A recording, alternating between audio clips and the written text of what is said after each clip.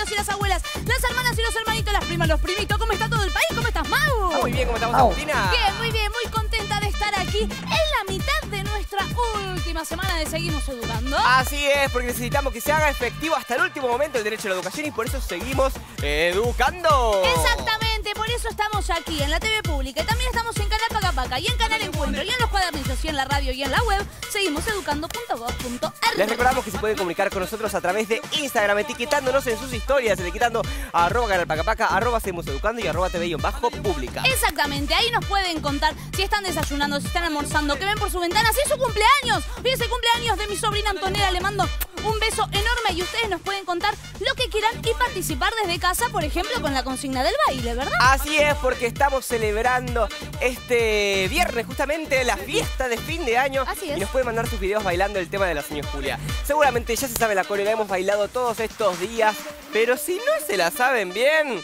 No sé. preparando los teléfonos celulares en este momento porque lo vamos a bailar ahora mismo. A Así ver cómo que... dice ese tema bien arriba para recibir a la señora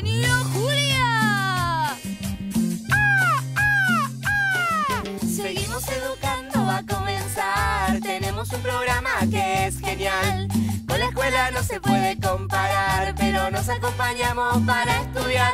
Segundo y tercero, la mano bien arriba, que aquí llegamos Mauricio y Agustina. Pero nuestra clase está incompleta todavía, sin la señora Julia que nos guía.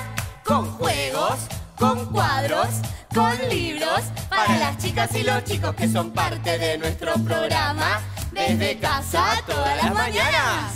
Señor Julia, señor Julia, señor Julia, señor Julia. Bienvenida, señor Julia. Gracias, muy buenos días para segundo y tercer grado. ¿Cómo están? ¿Cómo, en es- cómo están Agus y Mau? En esta última semana del programa. Ay, un poquito melancólico, ¿no? Un poquito nostálgico, como que va llegando al final, este año tan raro. Estamos cansados, estamos raros, no sabemos qué sentir, pero al mismo tiempo yo tengo una nostalgia también de todo lo que vivimos y de que nos queda nadita para seguir disfrutando. Nada, nadita, así que aprovechen, mándennos sus fotos, cuéntenos lo que están haciendo, qué están sintiendo en estos últimos días, qué fue lo que más les gustó, por ejemplo. O bueno, qué van a hacer también en las vacaciones, a qué van a jugar, si van a salir a andar en bici. Bueno, todas esas cosas nos las pueden contar mientras seguimos en esta última semana que estamos repasando, recuperando un montón de cosas que estuvimos viendo a lo largo de estos meses. Así que si les parece, Ay, ay, ay. y Para sí, que empiece ¿están la clase, nos agarramos. Suene el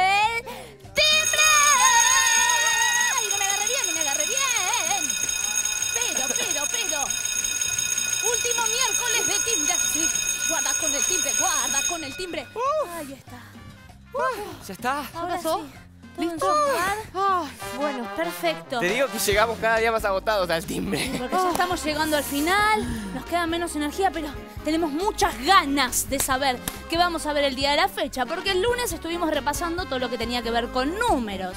Ayer estuvimos con lo de ciencias naturales. ¿Y exactamente. hoy qué nos preguntamos? Bueno, toda la semana nos estamos preguntando qué mundos conocimos durante estos meses. Conocimos el mundo de los números, de las matemáticas, de las ciencias naturales también, como estuvimos viendo ayer, y también conocimos el mundo de las ciencias sociales. Entonces hoy nos vamos a preguntar, ¿qué estudian las ciencias sociales? ¿Qué estudian las ciencias sociales? Eh, yo-. A ver, Mau. Las ciencias sociales, bueno, estudian justamente una rama de las ciencias, Sí. claro, Sí. como hay muchas ciencias. Sí. Sí, pero Y en estás- particular las de las sociedades, que son, bueno, las ciencias sociales. Bueno, está bien. Va por ahí, es un comienzo de Es respuesta. verdad, porque también las ciencias sociales son muchas cosas. La geografía también puede ser. Sí, la geografía, historia, la ¿no? Lo que historia. pasó antes, lo que pasa ahora. Sí. Las ciencias sociales, las comunidades, las costumbres. Exactamente, las La culturas. cultura. Eh, entonces, bueno, vimos y estuvimos viendo diferentes culturas, diferentes momentos de la historia, desde diferentes perspectivas también y también a través de diferentes recursos. Estuvimos leyendo testimonios, vimos videos, vimos mapas, son un montón, hicimos entrevistas, Sí. un montón de maneras de estudiar las ciencias sociales. Pero igual no lo vamos a terminar de explicar nosotros y nosotras, sino que lo va a terminar de explicar una invitada que tuvimos que nos grabó ¿De qué se trata esto de las ciencias sociales? Mira vos, bueno, vamos a ver entonces este video de Julieta Jakubowicz, especialista en ciencias sociales. A ver. Hola a todos y todas, mi nombre es Julieta Jakubowicz, soy docente, licenciada en Ciencias de la Educación y me entre otras cosas, a la enseñanza de las ciencias sociales en la escuela primaria. Las ciencias sociales estudian la realidad social, para comprenderla, para explicarla. Estudiamos y conocemos sociedades que vivieron en tiempos lejanos y también que lo hacen en tiempos y en espacios más cercanos. Cuando decimos que estudiamos la realidad social, nos referimos a una vari- una variedad de actores sociales, hombres, mujeres, niños, niñas. Conocemos y estudiamos su modo de vida, cómo se organizaron y se organizan, qué espacios habitaron, cómo se transformaron el ambiente en el que vivían, conocemos sus intereses, conocemos sus luchas. Y en este sentido, y por eso decimos que la realidad social es compleja, es diversa culturalmente, es muchas veces conflictiva. ¿sí? Ahora, ¿cómo hacen, por ejemplo, los historiadores para conocer sobre las sociedades del pasado? Bueno, recurren a una diversidad de fuentes. Una diversidad de fuentes como pueden ser los documentos escritos que han quedado en una época, los diarios, cartas, eh, fotos, cuando tratamos, cuando se trata de, épocas de un tiempo pasado, pero que es más cercano, de objetos que han, que han sido guardados y que, por ejemplo, ustedes pueden encontrar en los museos. ¿No? Uno podría, por ejemplo, pensar en los utensilios que formaban parte de una cocina de una familia en la época colonial. Bueno, esos utensilios de cocina nos hablan de muchas de las características sobre cómo era la vida en, en esas familias o en esas casas.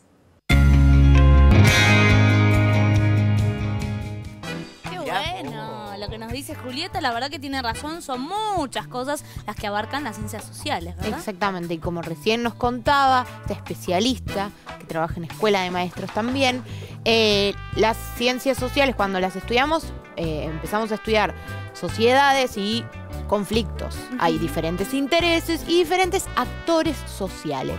Y me interesaba que expliquemos un poquito a qué nos referimos con esto de actores sociales, que no es lo mismo que actor y actriz.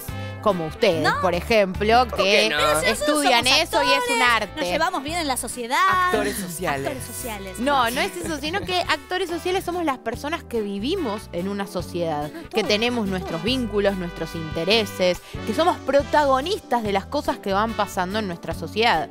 Entonces, cuando nos ponemos a estudiar ciencias sociales, estudiamos en diferentes momentos diferentes actores sociales.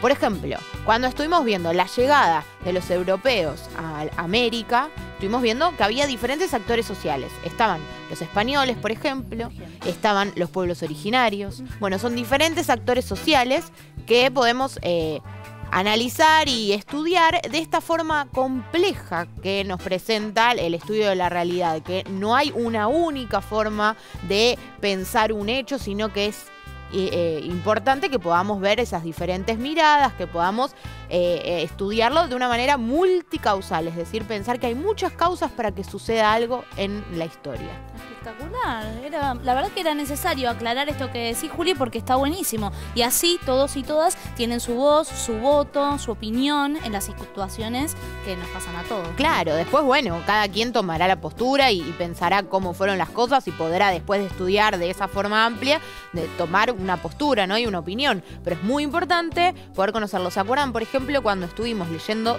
testimonios de, por ejemplo, eh, los jesuitas, que eran quienes habían llegado para convertir a los pueblos originarios a la religión católica? Y entonces, bueno, es muy importante también, además de conocer esos testimonios, bueno, también tener testimonios de, por ejemplo, los pueblos originarios, para poder ver cómo se, digamos, se vinculaban esos actores sociales distintos. Bueno, porque de hecho hay una frase señor que dice que si la historia la escriben los que ganan, eso quiere decir que hay otra historia. Entonces, de alguna manera, poder tener siempre distintas perspectivas nos cuenta mucho más sobre la historia. Exactamente. Así que bueno, ahora estamos sentados y sentadas en la zona de la biblioteca, porque para seguir pensando en esto de la multiplicidad de miradas, les traje un cuento. Mm, a ver cuál Se será? llama Seis ratones ciegos y un elefante. A ver, Fingerman no es, ya, Ya lo leímos. ahí no, no, no veo ningún elefante. Qué librazo, Finn Herman. El Reino del Revés también lo leímos Sí. el otro día con, Con Pablo, Pablo. que nos acompañó. Un genio total, el Club de los Perfectos también. Acá hay un tigre, así que este no es. ¿Dónde Mm, están los Frío, frío, elefantes? caliente, caliente, te, está- que te quemaste. Ajá. Este es el libro que vamos a leer el día de la fecha. Miren qué linda la tapa. Exactamente, seis ratones ciegos y un elefante. Y para poder pensar, a ver, ¿qué tiene que ver esta historia con lo que estamos hablando recién de las ciencias sociales? A Mm, ver, bueno. este, escrito, este libro escrito por Jude Daly. Acá ya tenemos dos perspectivas. Si hay dos partes de la historia, hay unos que lo miran de una manera y otro personaje que la mira de otra. ¿no? Un día muy muy caluroso, un elefante medio amodorrado que deambulaba por la jungla acabó en el granero de una granja vecina. Tras olisquear todo a su alrededor, se preparó una cama cómoda, lanzó un suspiro de satisfacción y se quedó dormido. Aquel granjero que siempre había deseado ver a un elefante de verdad, entusiasmado, avisó a su mujer y a sus hijos y todos corrieron a verlo. Después llamaron a los vecinos y el granero enseguida se llenó de hombres, mujeres y niños que cuchicheaban entre sí acerca de aquella maravilla. Un olor fuera de lo común despertó a seis ratoncillos ciegos que dormitaban en su nido. Y es que nunca antes habían olido nada igual. ¿Qué era aquello? Tenían que descubrir de qué se trataba. Se arrastraron fuera del nido, guiados por su olfato, y captaron olores que ya conocían de gallinas, vacas, cerdos, gente, perros y... ¡Gatos! ¡Socorro! chillaron los ratones y se metieron corriendo en un escondrijo. Desde su escondite, los seis ratones ciegos oían que la gente hablaba de una criatura extraordinaria llamada elefante, que estaba durmiendo en el cobertizo de la granja. Y cuantas más cosas escuchaban, más conven- convencidos estaban de que aquella debía de ser la criatura que habían detectado olfateando. De modo que tan pronto como toda aquella gente, los animales, y sobre todo el gato, se largaron. Los ratones salieron de su escondite y empezaron a investigar de nuevo. El primero en entrar al cobertizo fue el más viejo de los ratones ciegos. Entró tan deprisa que estuvo a punto de estrellarse contra un costado del elefante, prácticamente un muro. ¡Ay! gritó. ¿Por qué nadie nos ha dicho que un elefante es como una pared? Pues porque no lo es, chilló un segundo ratón mientras correteaba arriba y abajo por uno de los afilados colmillos del elefante. Un elefante en realidad es como una lanza. Ahí se vio. El tercer ratón, que estaba muy ocupado explorando una oreja del elefante, saltó y dijo, Eso es una tontería. Se ve con claridad que un elefante es como un abanico. De repente, el elefante se puso de pie y se rascó la oreja con tanto entusiasmo que algunos de los ratones salieron despedidos, mientras otros se aferraron a él para salvarse. El cuarto ratón ciego se las ap- apañó para trepar por la trompa del elefante, que se movía y retorcía sin parar. Un abanico, vaya tontería, chilló. Esta criatura es realmente como una serpiente. Una serpiente, gritó el quinto ratón mientras correteaba por una de las nudosas rodillas del elefante. ¡Qué ridiculez! Incluso el más cegato de los ratones diría que un elefante es como un árbol. Escúchenme, dijo el sexto ratón ciego, el más pequeño de todos, descolgándose de la cola del elefante. Están todos equivocados. Yo les voy a decir cómo es exactamente un elefante. El resto de los ratoncillos se acercó a él. Parecía que incluso el propio elefante le estaba escuchando. Un elefante es como... Un elefante es exactamente como una cuerda. Un momento de silencio. Después el amodorrado elefante agitó las orejas y lanzó un bramido tan estruendoso que los seis ratoncitos salieron disparados a buscar cobijo. Uy, pequeños, exclamó con dulzura el elefante. No quería asustarlos. Vuelvan, por favor. Solo quería decirles que todos tienen algo de razón. Y acá, atención a la imagen. Soy grande y macizo. Tengo unos colmillos afilados y unas orejas tan grandes que parecen abanicos. Les doy la razón, mis piernas son como los troncos de un árbol, mi nariz es larga y flexible, y mi cola puede llegar a confundirse con una cuerda, pero en definitiva, amigos míos, yo soy exactamente como un elefante. y dicho esto, bostezó. Un elefante muy bello, dijo con un gritito suave el más viejo de los ratoncillos. Un elefante muy fatigado, comentó el más joven. El elefante se echó a reír y poco después se quedó dormido. Los seis ratones ciegos salieron de puntillas del cobertizo.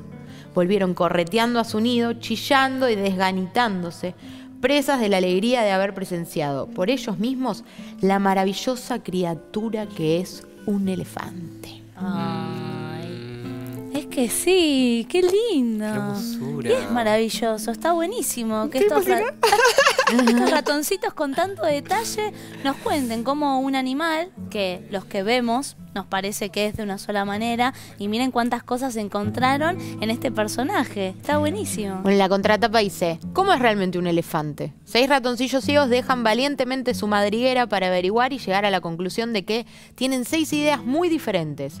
Un elefante es como un muro, como un árbol, como una lanza, como un abanico, como una serpiente o como una cuerda.